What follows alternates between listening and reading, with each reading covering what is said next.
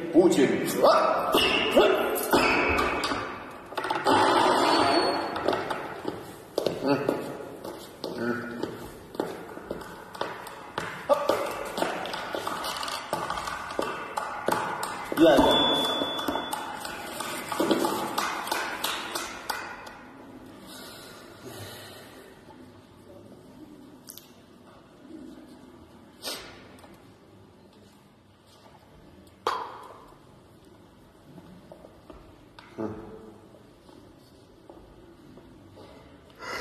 嗯。哼嗯。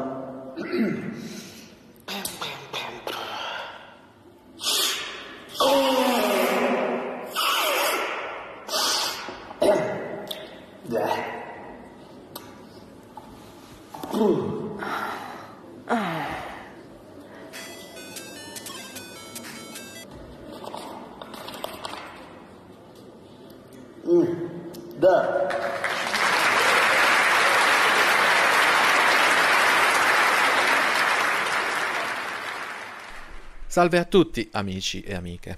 Oggi sarò breve, è sabato e qui al sud sono stati giorni veramente infernali. A Dio piacendo, a settembre ritornerò a ritmi umani e così programmare delle live settimanali. Fra l'altro ho già in mente alcuni ospiti che vorrei invitare, quindi restate sintonizzati. Ci sono poi altre novità, non voglio spoilerare troppo, però vi anticipo che a ottobre, per spostamenti programmati, vorrei pianificare anche un incontro a Milano e di questo poi ne parlerò più avanti. Tornando al video di oggi, devo aggiungere che questi giorni sono anche piuttosto complicati per YouTube perché il supremo algoritmo sta applicando dei filtri tremendi a tutto quello che ha a che fare con il conflitto in Ucraina e quindi viene sistematicamente demonetizzato. Questo significa che non prenderò un soldo dagli ultimi video che ho pubblicato, quindi per rispondere anche a qualche commento no, non mi paga nessuno, non ho sponsor, non mi paga la CIA, i poteri forti e tantomeno alieni grigi o la casta. Per questo motivo sottolineo sempre quanto sia importante iscriversi al canale e lasciare almeno il mi piace. Questo è un gesto gratuito che non vi costa nulla, quindi non siate timidi. Poi qui sotto, sotto al video trovate tutti i pulsanti, per esempio per abbonarvi, fare una donazione. L'abbonamento per esempio ha un costo minimo sindacale di un caffè al mese. Bene, fatta questa premessa, iniziamo. Il consolidamento dei territori occupati dalle forze armate ucraine nella regione di Kursk a quanto pare continua. Abbiamo ulteriori aggiornamenti sulle mappe. Secondo alcuni canali internazionali che seguo particolarmente, l'avanzata ucraina ha rallentato, più per problemi di logistica che per la reale capacità militare russa. È possibile che le forze armate ucraine non si aspettassero un successo del genere, è come dire la logistica e i rifornimenti devono tenere il passo e bisogna creare anche le fortificazioni, i bunker, i centri di comando e quindi no, non possono semplicemente avanzare senza considerare questo elemento. Eh, dalla mappa di Mayakovsk 73, che sta facendo davvero un lavoro eccellente, e fra l'altro vi lascio il link in descrizione per offrirgli un caffè se volete, e vi invito a farlo perché oltre a essere italiano merita davvero, insomma, per il lavoro che sta facendo possiamo vedere per esempio come la zona gialla, che è la zona contesa, si è espansa ulteriormente in questi due giorni la geolocalizzazione dei reparti russi e ucraini è diventata molto più fitta. Secondo moltissimi canali di analisi militare, ne cito giusto alcuni come il Kiev Post, The Enforcer, Global News e lo stesso Denis Davido eh, segnalo anche Resoconti dall'Ucraina, canale italiano che colgo l'occasione di salutare. Quello che possiamo aspettarci nei prossimi giorni sarà un'estensione delle aree controllate dall'esercito ucraino verso ovest e sud-est, mentre la pressione verso nord sarà attenuata dai rinforzi russi in arrivo. Segnalo anche che l'aviazione ucraina sta effettuando dei raid con successo sulle infrastrutture di collegamento della regione, come le strade, le autostrade e i ponti, in particolare il ponte sul, fiu- sul fiume Seim, per tagliare le linee logistiche di Kluskovo e Tenchino e le aree vicine. Questo ponte è stato colpito da un raid di un MiG-29 che ha usato una bomba di precisione GBU-39 e questo è un risultato notevole. Cambiando mappa e passando su Deep State vi vorrei mostrare quanto rapidamente gli ucraini sono riusciti ad occupare il territorio russo in appena 10 giorni. Per darvi un'idea delle proporzioni della cosa, questa è per esempio l'area di Wojciech e la foresta vicina che abbiamo seguito nei video precedenti. Ecco, in queste aree la situazione è ferma da mesi, quindi non è un'esagerazione dire che gli ucraini hanno conquistato più territorio russo in dieci giorni di quanto i russi hanno fatto in sei mesi. Un'altra cosa molto interessante che possiamo vedere da Deep State è la conferma del risultato che gli ucraini speravano di ottenere.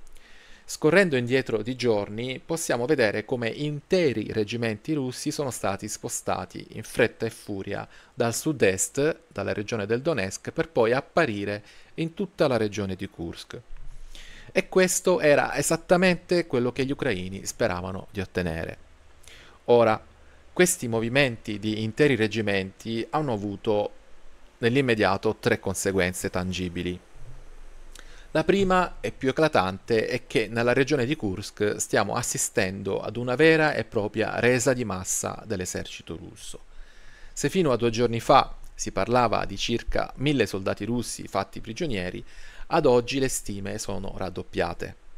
La ragione di questo è che sono coscritti, giovanissimi, e per giovanissimi intendo proprio diciottenni, poco più. Vi mostro queste immagini, guardate le loro facce e ditemi voi. Questi ragazzi, nella stragrande maggioranza dei casi, preferiscono non combattere. La seconda conseguenza di questi spostamenti è che sta mostrando a tutto il mondo quanto l'esercito russo sia palesemente a corto di uomini.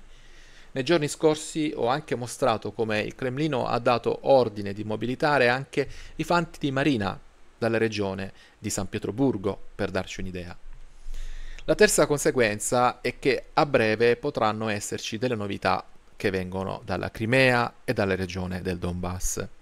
Ora, non illudiamoci troppo, perché di fatto proprio da queste aree i russi stanno spingendo e guadagnano terreno.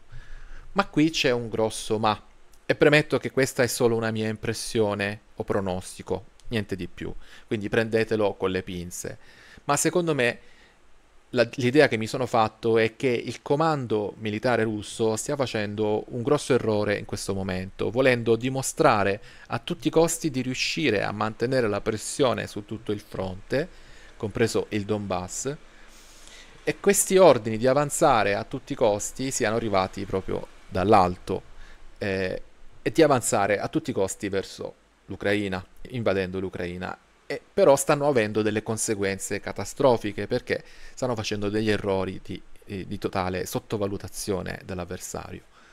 Non vi posso mostrare le immagini perché ovviamente questo comporterebbe l'ennesima restrizione da parte di YouTube, ma fidatevi se vi dico che da queste aree, in queste ore, in questi giorni stanno arrivando le scene più assurde che si siano mai viste dall'inizio del conflitto.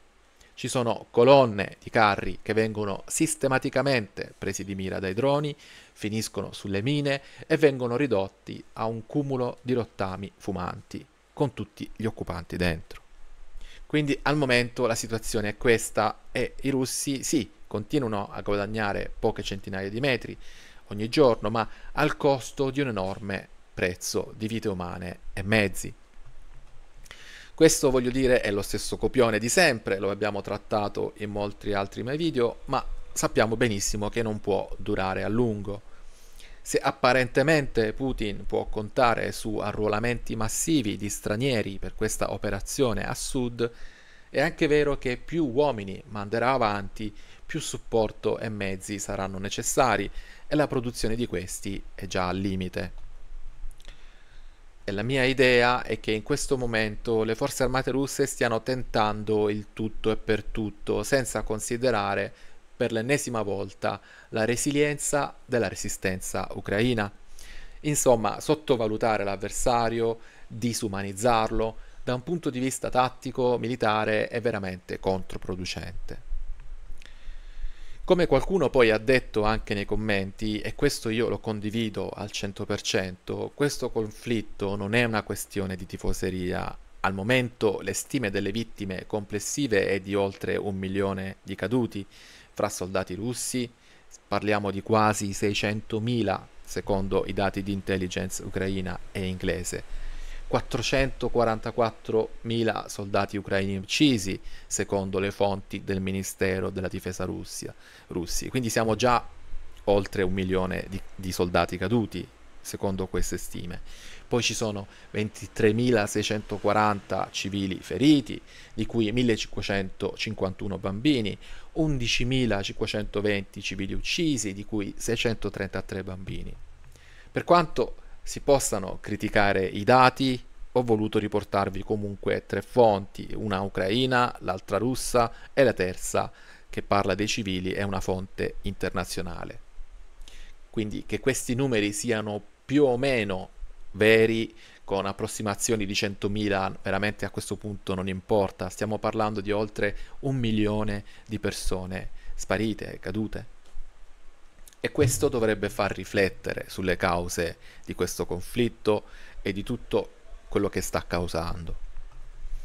Per quanto riguarda comunque i soldati russi, c'è poi da considerare un altro aspetto. In oltre due anni e mezzo i caduti molte volte sono semplicemente svaniti nel nulla.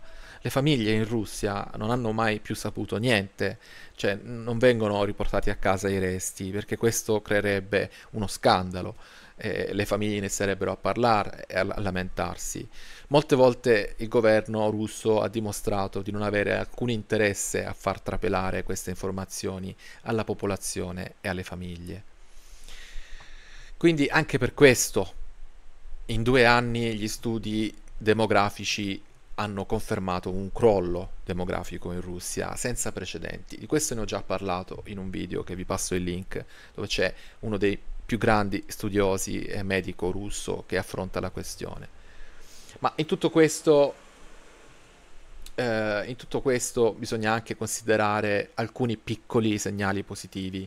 Ci sono stati, per esempio, tantissimi casi in cui i soldati russi catturati dagli ucraini poi hanno potuto contattare i propri familiari in Russia, fare delle telefonate alle famiglie e far sapere loro che stavano bene, fondamentalmente. Questa è solo una goccia nell'oceano, ma in qualche modo queste telefonate per le madri e le mogli di questi soldati possiamo dire che rappresenta l'unico momento di verità in una farsa mediatica di propaganda televisiva in stile 1984 di Orwell che va avanti ormai da decenni in Russia.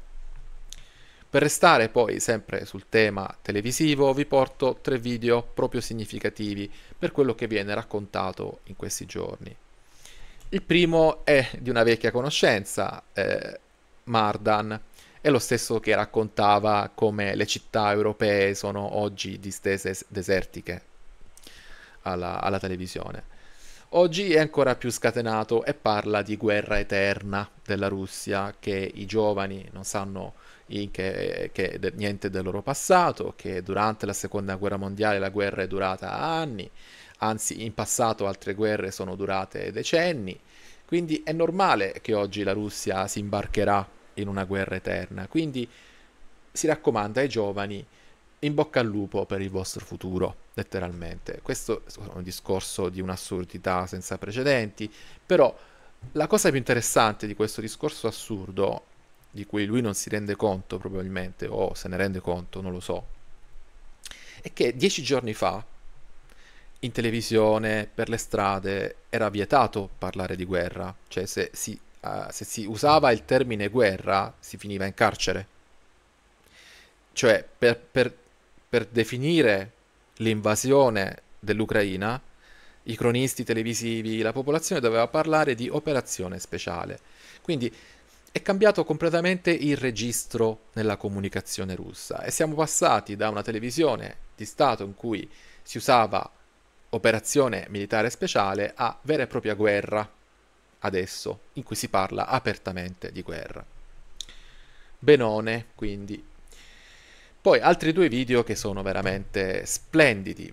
Vi presento questo, c'è il trafiletto che lo descrive, è un post di Anna Comsa che dice è iniziata la decomunizzazione della Russia.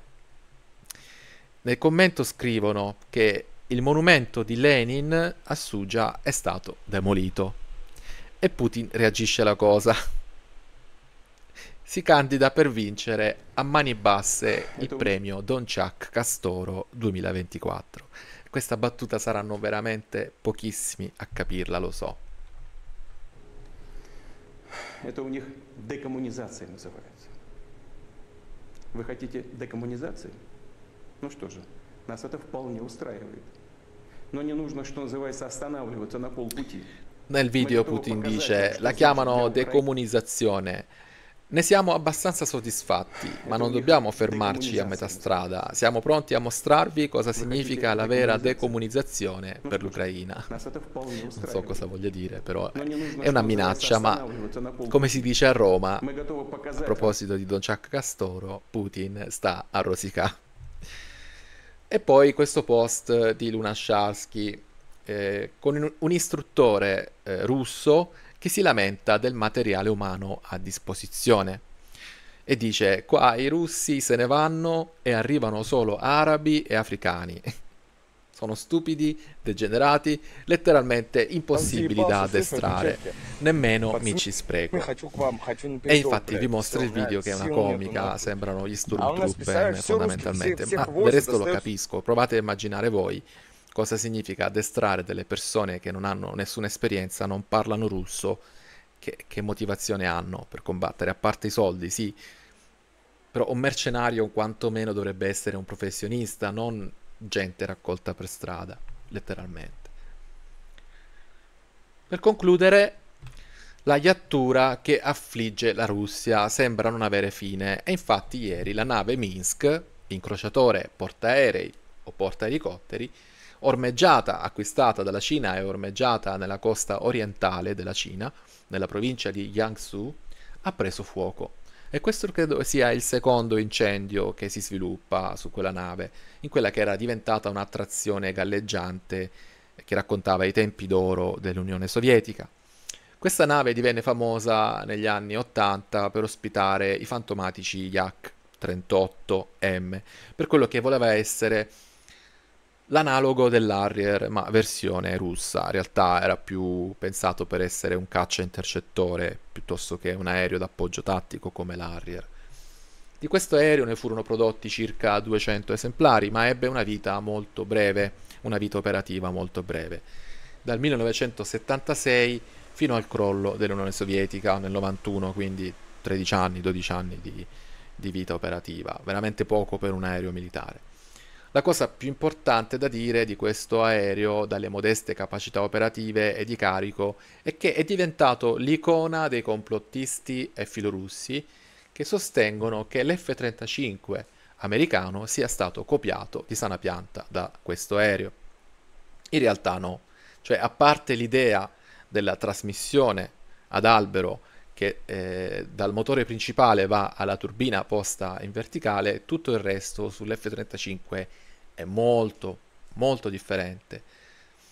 Come dire, è un po' come dire che tutte le macchine con motore a pistoni hanno copiato dal primo progetto originale, no, semplicemente il motore a pistoni è conveniente, cioè è una soluzione ovvia per certe, per certe necessità. Ma come dire, a parte questo albero di trasmissione, si, fer- si fermano qui le somiglianze fra lo Yak 38 e l'F35.